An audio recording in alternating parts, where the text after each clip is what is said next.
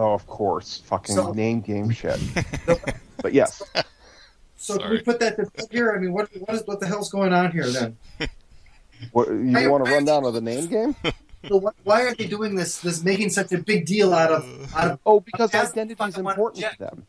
Because identity is one of the things they have to establish in order to dot their I's and cross their T's. But it's not the name game. They only care about identifying you. Okay. And and the fact that you're accused, you know, and, and the fact that this is all one person being discussed is one of the factors that they're gonna, you know, rely on being proved.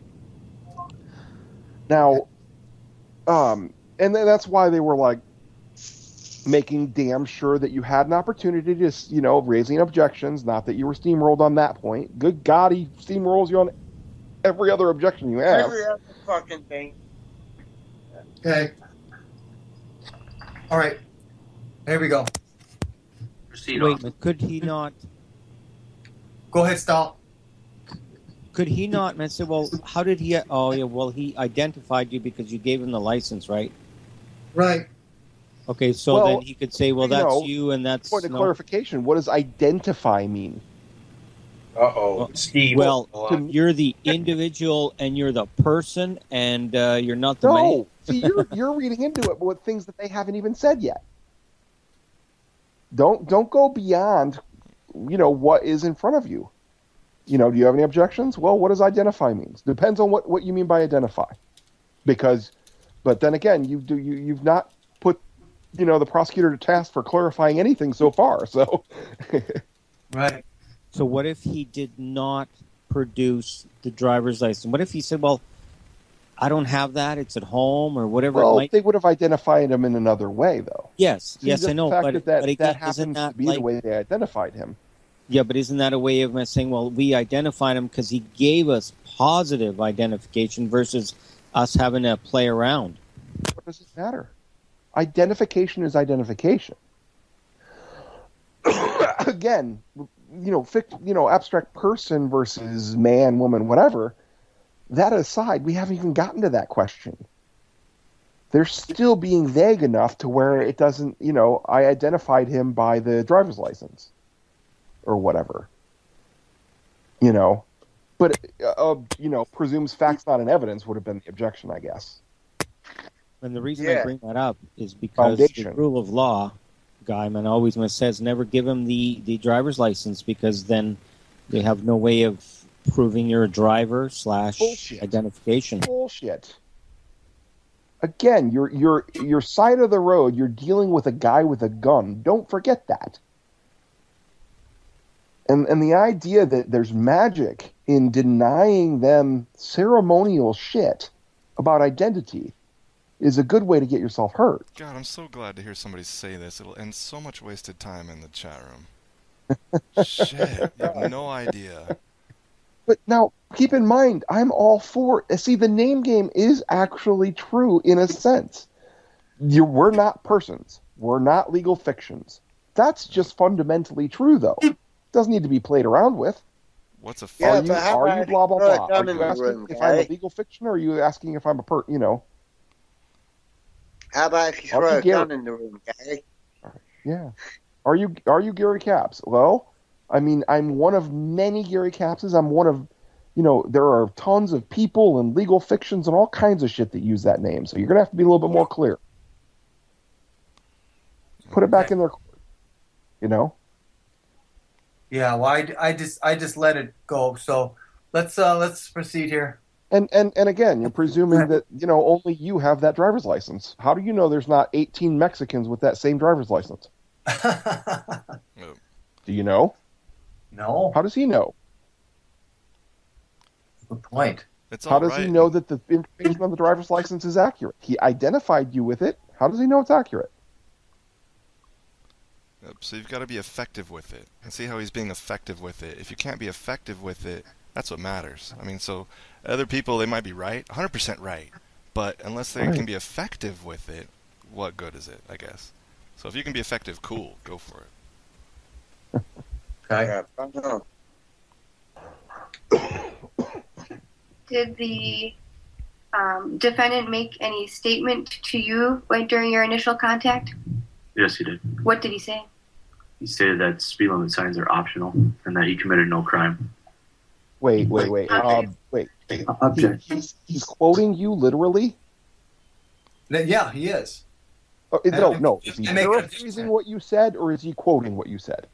He's quoting. And, you and I said think literally the phrase he just said to you. that I, that's what he says. I said, and I objected and said I never said that. Wait, no, no, no, no, no. Hold on. Okay. To be clear, because that's the the important difference is in the details here. Mhm. He said roughly a paraphrasing of what you said, or is he quoting what you said?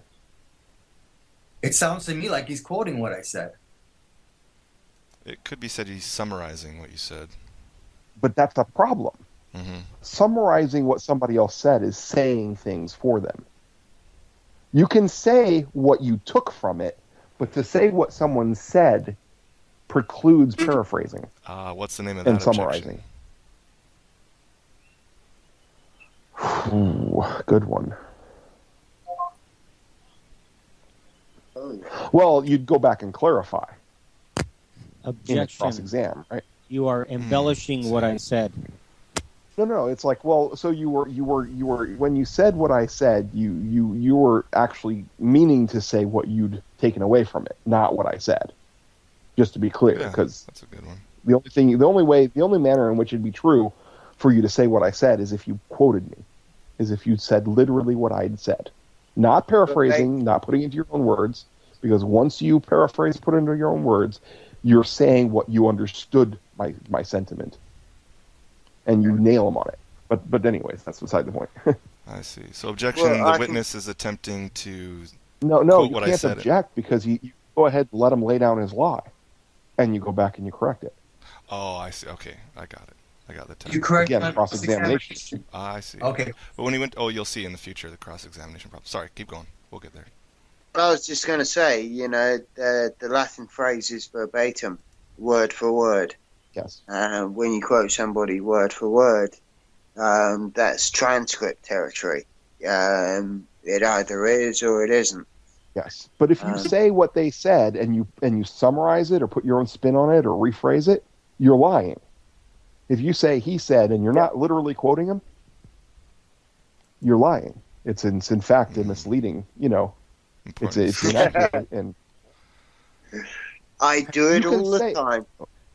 well, in, in court it's different though. If you're if you're accusing somebody and trying to get them punished on that issue, it's different. Yeah, for sure.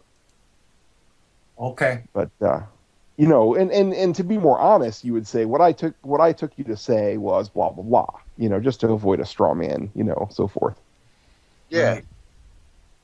Okay. And and later on, I would go about saying, so you're just mm-hmm. trying to rephrase, put words into my mouth in order to prejudice this court against me. Is that correct? Nice. There's a good one. yeah. You know, something along those lines. Hmm. but wait for the cross examination to do it. Well, that you you can't. Sadly, you can't object based upon a lie. Okay, that's what I Although, tried to Is do. there is there anything where if somebody you, that, so that you can stop something with a perjury issue? Or misrepresentation. No, no, no. Uh, Well, a perjury issue. I mean, if somebody lies, if someone says something incorrect, how do you? Is there? Do you? I mean, I know in, in over the, in Britain there you have to pretty much grin and bear it. But uh, Uh, no, we're abusive process. Apparently, that's what I'm good at. What if he but how objected? you? How, but there's no. But there's no instant objection to a lie that just occurred, right? What if he knew the lie that occurred and knew just by memory, big hypothetical, the like writing in the books that How to he prove? How to prove it? How to prove it was a perjury? Well, oh, like the intentional aspect of a lie, perjury. Yeah. If if somebody if somebody perjures themselves, yeah. in theory, shouldn't there be something stopping that right then and there so that you can go off on a tangent about the perjury and solve that matter Gosh, before they're allowed to perjure themselves further? sounds like clarification, but you can't use that at this point. Is that right? No, no, you can't use that. This that's cross I, exam. I did it. You heard it on the show. Mark played it my last court date where I was saying objection. And George, what are you objecting to now? I said he's lying. that wasn't effective. did. No, I- Right. that's what I did though. I did it a couple of times. He says you can't make that objection. That's not an objection. Well, I object anyway. He's lying. I couldn't Okay, here help we go. Style points count. Yeah, Opportunity to cross-examine the witness. I'm gonna have to follow that up some more. Thanks, guys. Did you make any response to his comment? I just stated that the speed limits are not optional. And what happened next? At that time, that's when I got his driver's license and went back to my car. And then what did you do?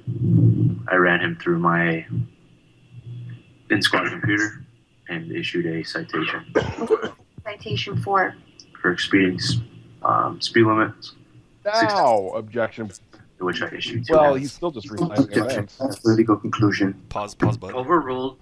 Sir, you don't understand what a legal conclusion is. You may make those objections. They will be overruled because they have no basis. Proceed.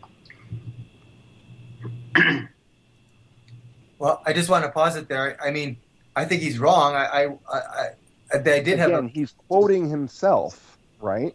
Mm-hmm. He's quoting himself, accusing you. Mm-hmm. he's quoting himself, making a legal conclusion. so he's stating a fact of an event where he accused you, and made of a you know, where he made a legal conclusion. Right. So my, my, my objection is, is is is merited, and so the judge is just I, I understand, but the judge is playing games, and I and I get that the you know right. The problem again is that weird one where he is hmm. factually quoting himself accusing you and getting it into the record as such. Yeah. Okay. I think I've heard Mark say this before. How how has he made a determination to pull me over if he didn't decide I broke some kind of law? Of course, Well, but you're not at the point yet where you can. Pardon You me. see, you've got to get him. You've got to get the objection calls for a legal conclusion. See, he's so far he's telling this in a narrative, which really kind of screws us up The cop, yeah. because he's not actually he's he's narrating in a past event where he accused you. Yeah, so he'll have to wait for cross examination, basically. Well, but in cross examination, you can't object on your own question, calling for a legal conclusion. you can, you can. I, I see what you're saying. Yeah, you can say, you can ask him if he can make. No, you can't ask him for a legal conclusion and then object to it. Wait a minute, Paul does corner him because he does use. If we go a little further here, he does catch him in a in the. Keep uh, keep. Let's keep listening. Okay, go ahead. Go ahead. I asked Thank you you. what the, your um, decision to base the issuance of the ticket was on. Could you? Whoa, whoa, whoa, whoa. Whoa. The, did she just ask? Did she just ask the cop what he was basing his issuance of the ticket on? Let's listen. Yeah. Uh, See. Sorry, I There think it I is. what the your um, decision to base the issuance of the ticket was on. Could you? Officer has answered that. Okay.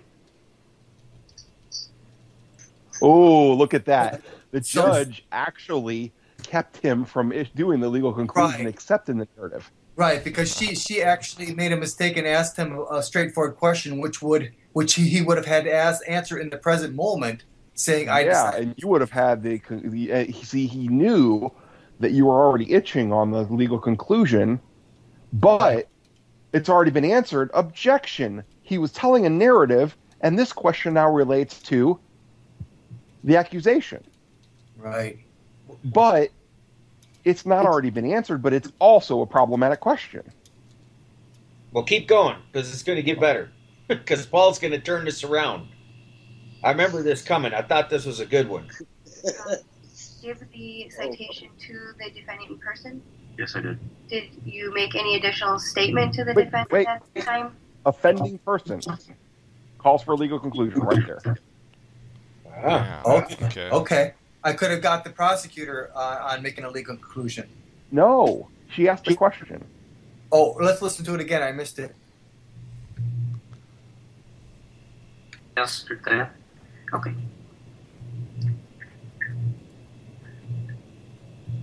And did you then um, give the citation to the defendant in person? Yes, I did. Did you make any additional statement to the defendant at that time? I just explained. I issued and explained the citation to him. Did he make any comments to you? He became very argumentative in stating that I didn't have jurisdiction over. Well, we missed something there. Um, We wanted it back. back. okay, sorry about that.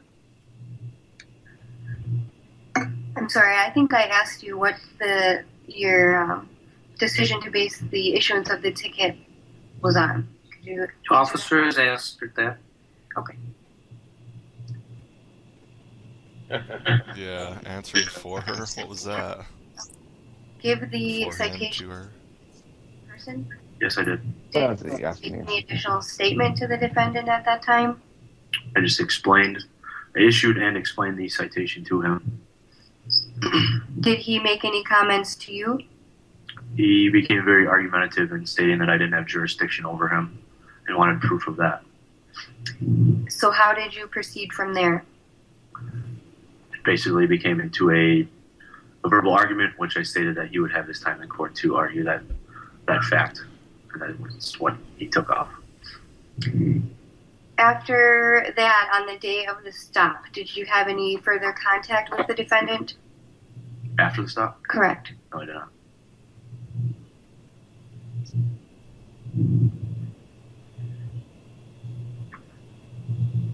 I have no further questions for this deputy at this time. Thank you. Mr. Mazina, now is your turn not to testify. You will be given an opportunity to, to do that. You may now cross examine the officer. As if you're five years old.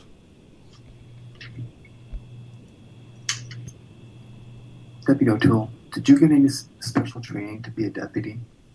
Yes, I did. What did that consist of? Went to the police academy, and also when I got hired, I went through 20 weeks of field training. Went through what, sir? I went to the police academy, And then what? and when I got hired through the Waukesha County Sheriff's Department, I went through 20 weeks of field training. Have you studied the Wisconsin traffic statutes? Directly? Just answer the question. Yes. Yes, you have. Okay. Have you studied the municipal ordinance of the municipal ordinances of the town of Lisbon? Yes, I have. Do you make legal determinations when you apply the law? Can you speak up, please? Do you make legal determinations when you apply the law? Objection, relevance. Can the, the officer can answer. Can you repeat the question, please? Do you make legal determinations when you apply the law? Yes. Okay. Are you an expert in the interpretation and application of the Wisconsin Constitution and state statutes? An expert? What's the relevancy, sir? I'm, I'm inquiring about his his his uh, capacity and competency to make legal determinations when he applies the law. The judge just objected for the prosecution. Yep. Exactly. Well, the judge asked about relevance, though. Yeah. Again, it's obvious, but he's asking about it. Something he'll never do for Paul. and and the, and the relevance it's it's the, the relevance is that this that this cop has entered legal determinations into this court. That's the relevance. And the best part is Paul's going to bust him in a few minutes because he just said the cop can make legal determinations, and in a few minutes he's going to say he can't. Watch. Keep going, Paul. Wait, wait, the cop, the judge, judge said he could make legal determinations or couldn't. Yeah, Joe was talking right when he when uh, he right when Paul turned the recording back on. The judge said she objected to him, him making the answer that question, and the judge right when Joe started talking said he can answer that question. no. Yeah, let's That's not yeah, saying he can make legal determinations. That's saying he can answer the question. That was the question Paul asked, wasn't it? let's Yeah, but he, he said he can answer the question. He didn't say he can make legal determinations. Paul asked him, "Did you make a legal determination to pull me over?" Basically, Let's listen. Let's listen to it again. yeah. Make legal determinations when you apply the law. Yes. See, Are you an expert in the interpretation and application of the Wisconsin Constitution and state statutes? An expert? What's the relevancy, sir? I'm, I'm inquiring about his his his uh, capacity and competency to make legal determinations when he applies the law. What does the He already your admitted to question have to do with this speeding ticket? You've got him, and he knows it. He tried to Yep. distract you right there. Keep going. He's doing. I bet he's doing good. Let's see how he does. Keep going. Okay, well, wait a second now, guys. We we we can uh, let's let's let's do it again. No. We're listening. Well, Shit. Are we rewinding again? We were you were listening. You were talking right over it. Oh, sorry. Legal determinations when he applies the law. What does the your question have to do with this speeding ticket? He made a determination that the laws of the state of Wisconsin applied to me. And I'm asked, I'm going to be asking the deputy what facts and evidence does he have to, to back up his belief that the laws of the state of Wisconsin apply to me. So I'm asked. That's why I'm asking about his his competency in that matter, sir. Okay, the officer can answer that. Bingo. I've been trained to apply the law. Yeah. Good. I don't. Okay. Well, now, why, why do you why do you think that was a critical point there? Because you, in my opinion, Because the judge backed down because he knew he had nothing he could swat you down on. You you actually clearly stated the reason that you were heading down this road. yeah. Right. Bonus Sweet. points. He was trying to get you to fumble so that he could say piss off. Okay. Because it had See, worked in the past, but it didn't work this Yes. time because you did a good job. I'm, so messed up. I'm so messed up. I don't even know what I'm doing right anymore here. So Yeah.